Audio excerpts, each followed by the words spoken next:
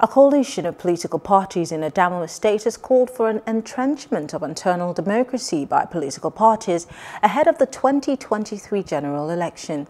The group, during a press conference in Yola, commended the exemplary conduct of the former gubernatorial aspirant of the People's Democratic Party, Umar Ardo, in the state. The spokesman of the group, Jafar Girey, says that Ardo remains the only politician of repute in the state who over the years has been fighting for the strengthening of the internal party democracy to guarantee fair play in the electoral process. I took time to elaborate on this issue of internal democracy because of its significance in party politics. As we earlier said, until this issue is resolved, our democracy will not work. It is the recognition of this fact that we call for this press conference to appreciate and pay tribute to one politician and an academician who perceptibly understood this problem and has been fighting doggedly to solve it in his political party.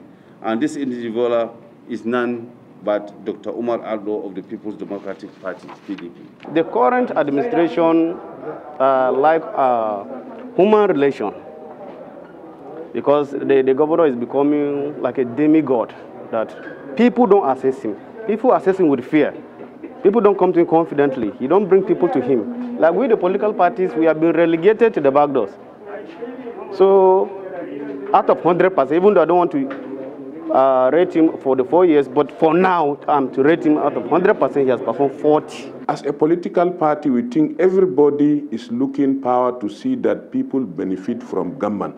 And if you look at what His Excellency have been doing in terms of security, in terms of education, in terms of health care, in terms of uh, infrastructural de development across the state, both in the urban and the rural. If you as a political party, you come back again and say that he's not uh, receiving your advice, maybe you support him because of your personal interest. Hello. Hope you enjoyed the news. Please do subscribe to our YouTube channel and don't forget to hit the notification button so you get notified about fresh news updates.